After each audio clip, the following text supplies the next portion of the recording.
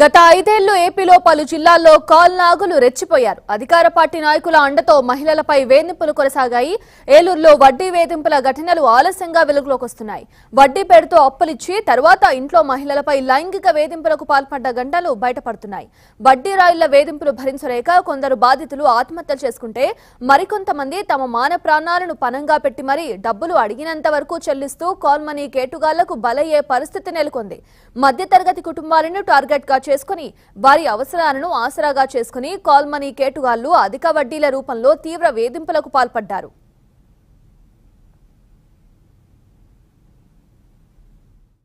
ఆయన తీసుకునే వడ్డీ కూడా చాలా దారుణం. ఒక వారం పదిహేను వేలు కట్టకపోతే మళ్ళీ నెక్స్ట్ వారానికి ఆ పదిహేనుకి పదిహేను కట్టమని అడిగాడు నన్ను. అట్లాగే కట్టావు టూ త్రీ టైమ్స్. పదిహేను వేలకి పదిహేను వేలు. ఇదేంటి సార్ అంటే ఏ లక్ష రూపాయలు తీసుకున్నప్పుడు మాత్రం వారానికి పాతిక రూపాయలు వడ్డీ. వారానికి పాతిక. నాకు ఇచ్చింది ఆయన తొంభై వేలు లక్షకి పదివేలు కమిషన్ వేరే వాళ్ళకి ఇవ్వాలా కమిషన్ అని పదివేలు కట్ చేసుకుని తొంభై వేలు ఇచ్చాడు. మళ్ళీ నెక్స్ట్ వారానికి పాతిక వేలు కట్టా కింద మీద పడి. మళ్ళీ వారానికి పాతిక అన్నాడు. అంటే ఏదో చిన్న వ్యవహారం కోసం అని తీసుకున్నాం. అదేమో టైం వీక్- వీక్లీ వీక్లీ చెప్పాడండి మీకు? లేకపోతే మంత్లీ అని చెప్పాడా? వీక్లీ అనండి. మంత్లీ అసలు ఏం మంత్లీ ఇవ్వనని చెప్పాడు ఆయన. ఓన్లీ చెప్పాడండి? వారానికి పాతిక రూపాయలు వడ్డీ చెప్పారండి. పది రూపాయలు వడ్డీ వారానికి? వారానికి? పాతిక రూపాయలు వడ్డీ. నేను కూడా ఆ రోజు తీసుకోవడానికి ఏంటంటే ఒక చిన్న ఎమర్జెన్సీ అయ్యి తీసుకున్నాను. నెక్స్ట్ వీక్ క్లియర్ చేసేద్దాం. ధీమాతోనే తీసుకున్నాను కానీ ఆ టైంకి అవ్వలేదు అంత పేమెంట్ నేను కట్టలేనులేండి అని అంటే మీకు ఇష్టమయ్యి మీకు అవసరమయ్యి తీసుకున్నానంటే పాతికి పాతిక రూపాయలు వడ్డీ. ఒక డే నెక్స్ట్ డే నేను ఒకవేళ ఈ డే కట్టకపోతే ఆ పాతికి మళ్ళీ పాతిక రూపాయలు వడ్డీ అంట. అంటే యాభై రూపాయలు వడ్డీ వారానికి. ఒకవేళ మిస్ అయితే ఆ నైట్ మనం కట్టడం. ఏంటంటే యాభై రూపాయలు వడ్డీ ఆ వారానికంటే ఆయన ఏమన్నాడంటే సింపుల్గా చెప్పాడు ఆన్సర్ సుధాకర్ రెడ్డి గారు. అయ్యో అది పాపం కదమ్మా పాపం సొమ్మేం కాదు. ఇప్పుడు మీరు ఆ నైట్ మీకు ఏదో సమ్ ఎమర్జెన్సీ ఏదో యాక్సిడెంట్ లేదా హెల్త్ ఇష్యూ ఏదో అయింది అర్ధరాత్రులు పన్నెండింటికి ఒంటి గంటకి.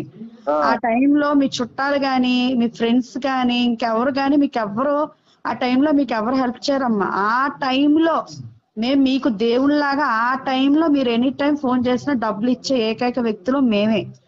సో ఆ టైంలో మీకు మేము దేవుళ్ళం అందుకనే పాతి రూపాయలు అంటండి ఆ టైంలో మేము ఎంత హెల్ప్ చేస్తే మీరు ఇచ్చే పాతి రూపాయలు పెద్దవి కాదమ్మా. అదేం పాపం సొమ్మేం కాదు.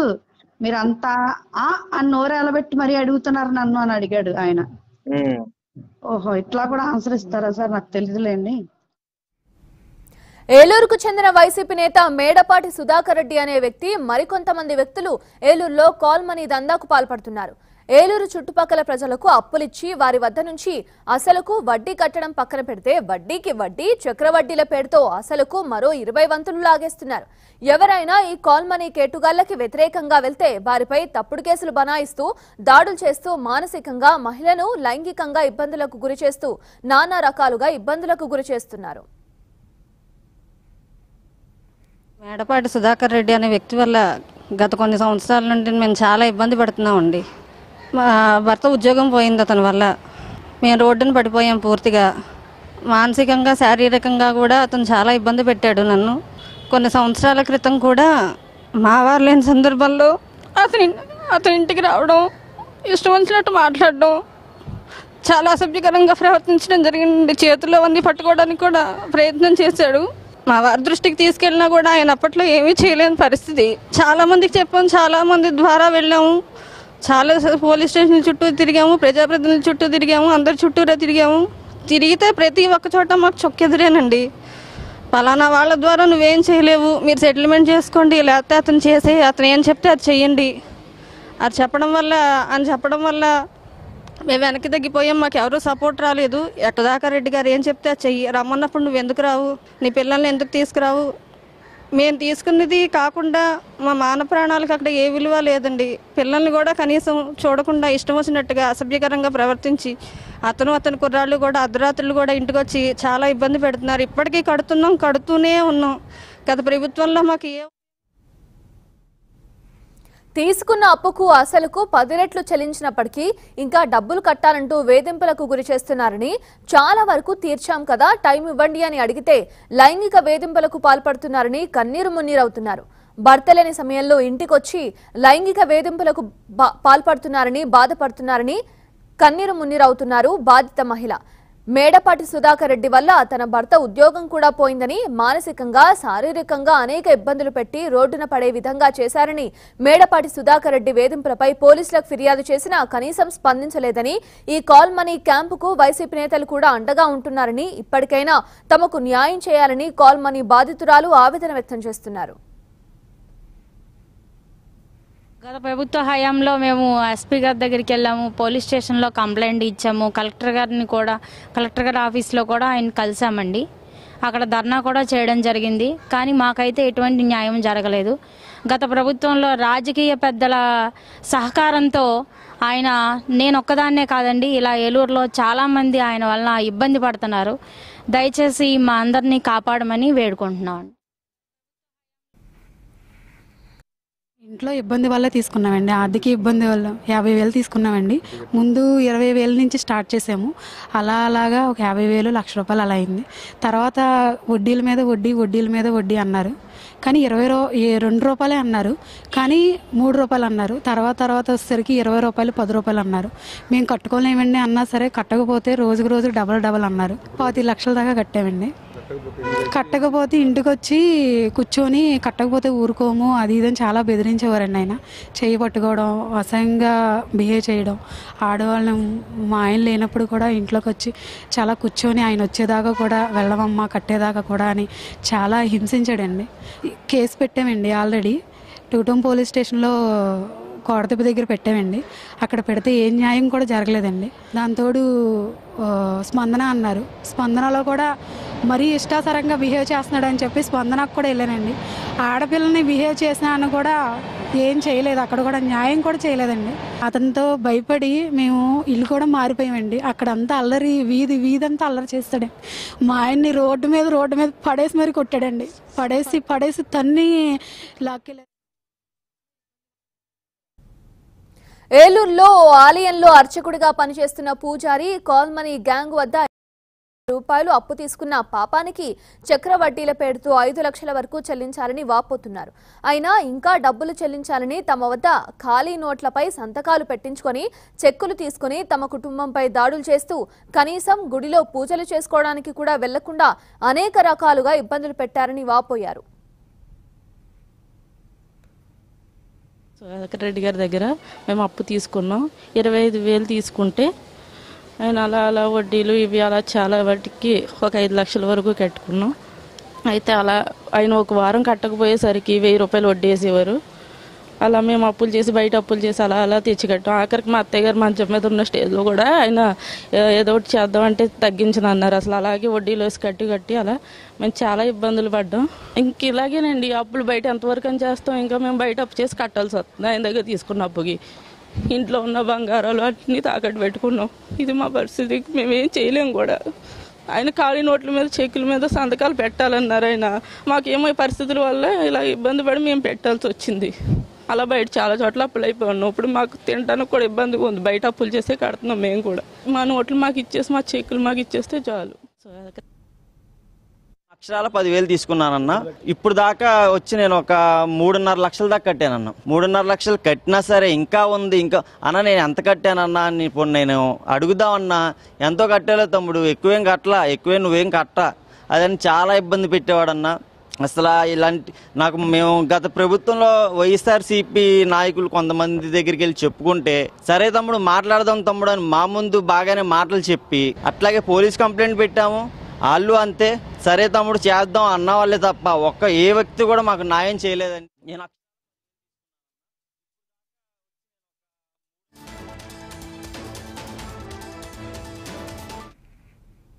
ఏలూరుకు చెందిన ఒక వ్యక్తి సుధాకర్ రెడ్డి వద్ద నుంచి లక్ష రూపాయలు అప్పుగా తీసుకున్నారు. ఇప్పటికే లక్షకు చక్రవడ్డీతో ఆరు లక్షలకు పైగా చెల్లించారు. అయినప్పటికీ సంతృప్తి చెందని సుధాకర్ రెడ్డి ఇంకా డబ్బులు చెల్లించాలని వేధింపులకు గురి చేస్తున్నాడు అంటూ బాధితులు ఆరోపిస్తున్నారు. తాము డబ్బులు ఇవ్వలేమని ప్రాధేయపడినా ఏమాత్రం కనికరించకుండా బాధితులపై ఎనిమిది లక్షల రూపాయలకు చెక్ బౌన్స్ కేసులు పెట్టి ఇబ్బందులకు గురి చేస్తున్నారు అని ఆవేదన వ్యక్తం చేస్తున్నారు బాధితులు. బిజినెస్ చేస్తున్నట్టుగా ఇప్పుడు రూలే వచ్చింది ఫోన్లండి ఇల్లీగల్ బిజినెస్ చేస్తే శిక్ష పూర్తిగా అనుభవిస్తాం ఏముంది? తప్పు అయితే అనుభవించుకునేది మీరు చేసుకునేది. తప్పు ఎవరు ఎవరు నాకేంటి? తప్పు ఎవరు చేసినా తప్పించుకోలేరు కదా సార్ అది. తప్పు ఎవరు చేసినా తప్పించుకోలేరు. ఎవరు ఎవరిని మోసం చేయడానికి సిద్ధపడ్డారో అది అందరికీ తెలిసిందే.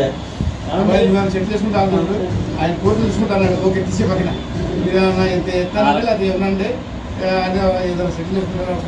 నేనైతే కట్టే పరిస్థితి లేదండి. అసలు ఇక నా దగ్గర కూడా ఏం లేదు ఇక. ఇక నేను అందరిలా ఊరు పారిపోవడం లేదా ఏదైనా వేసుకుని తెచ్చిపోవడం ఇది ఒకటే మాట. ఇది ఒకటే మాట. అందరిలా ఊరే ఊరేది పారిపోతుందండి నేను చేసేది ఏమన్నా ఉన్నారా? ఎందుకు లేరండి? ఉన్నారు. ఊరేది పారిపోవడం లేదా చచ్చిపోవడం ఇదే మార్గం. ఏంటండి ఎనిమిది లక్షలు ఒకటే తొమ్మిది లక్షలు ఒకటే మళ్ళీ ఎనిమిది లక్షలు ఒకటే mళ్ళీ తొమ్మిది లక్షలు ఒకటే లా ఏదో లక్ష రూపాయలు ముప్పై ఐదు లక్షల అండి మాకు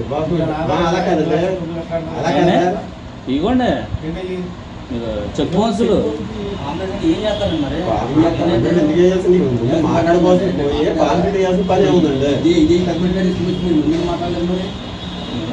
ఇప్పుడు ఆ, అప్పుడే కూర్చోబెట్టారు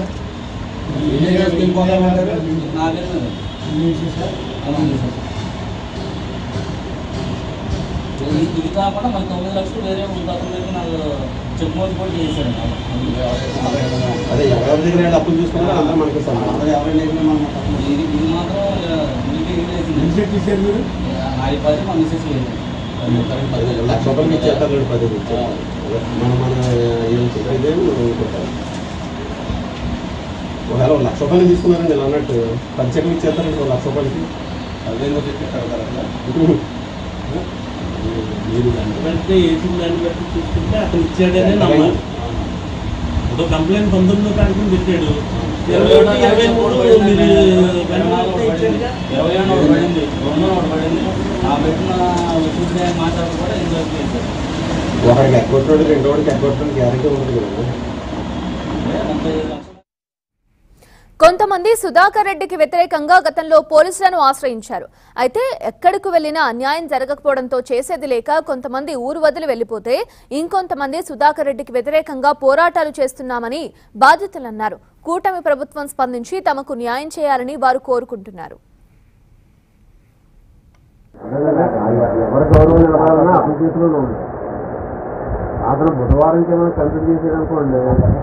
బుధవారంకి ఏమైనా కన్సిడర్ చేసాడు బతికిస్తే బాబా నువ్వు తీసుకోవచ్చు అంటే నాకు నిద్ర పట్టలేదు సార్ మీరు ఏమని అనుకోండి అంటే మరి ప్రజలు ఉండొచ్చు నాకు ఎన్న ఐడియా ఇలా ఉన్న ఐడియా ఆన్లైన్ తీసుకున్నప్పుడు రేపు ఇల్లు అంటే ఎవరైనా చేస్తుంది పదిహేను రోజులు ముందు తీసుకున్నప్పుడు మరి అది ఏంటో తెలుసుకోవాలి విషయం నాకైతే మొత్తం కమిట్మెంట్ ఇచ్చారు. ఆ మొత్తం కమిట్మెంట్ నేను ఎవరికి తీసుకుంటే ఇల్లు అని చెప్పండి.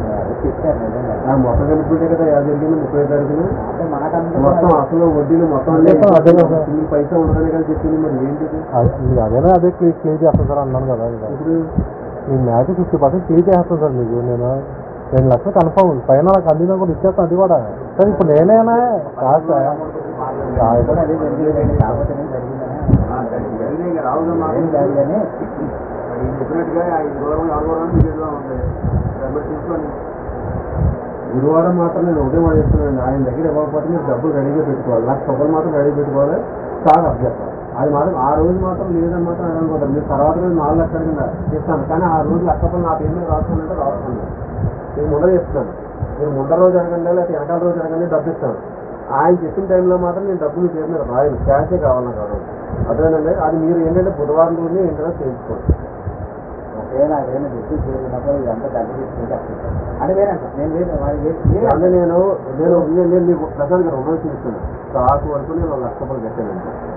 అదే మిగతా లక్ష రూపాయలు మీరు లిక్విడ్ క్యాష్ ఇవ్వాల్సిందే మీ తర ముందర కానీ తర్వాత కానీ మీరు డబ్బు అడగండి నేను ఇస్తాను. ఐదు లక్షలు అడగండి ఇస్తాను అలాగే. అది వేరే ట్రాన్సాక్షన్ ఈ ట్రాన్సాక్షన్లో ఎందుకంటే అది అప్పటికైనా నా పేరు రాయింది లేకపోతే నేను నాకు టైం ఇవ్వండి అన్న మాత్రం ఛాన్స్ నేను ఇవ్వలేను అది. ఎందుకంటే ఓ రకంగా చెప్పాలంటే అతనికి టైం ఇచ్చేది కదా నేను మీకు టైం ఇచ్చేది ఇది.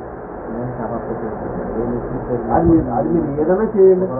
ఎందుకంటే అతను కూడా చెప్పాను నేను ఎందుకంటే అతను ఏలూరులో ఉన్నంతకాలం నేను ఏలూరులో ఉన్నంతకాలం ఎప్పుడు అర్ధరాత్రి ఫోన్ చేసి డబ్బులు కావాలంటే టక్కనిచ్చి ఇది ఉంచుకోవాలి తప్ప చెడగొట్టుకుంటే ఎవడో రూపాయి ఇవ్వడం ఎవడన్నా ఎక్కువ వడ్డీ ఇచ్చేవాడు కూడా ఆలోచించారు ఆ టైంకి డబ్బులు ఇవ్వడం కానీ నేను ఇస్తాను. మీరు ఏ టైం కన్నా ఫోన్ చేయండి నేను డబ్బు ఇస్తాను. మీరు మొన్న ఒకసారి తెల్లగట్ట మూడింటికి ఫోన్ చేశారు. మీరు ఇంకో రింగ్ చేస్తే నేను ఇస్తాను. అంటే అది బై మిస్టేక్ వచ్చింది వచ్చింది అన్నది నేను లిస్ట్ చేయలేదు. ఇంకో రింగ్ చేస్తే నేను ఇస్తా.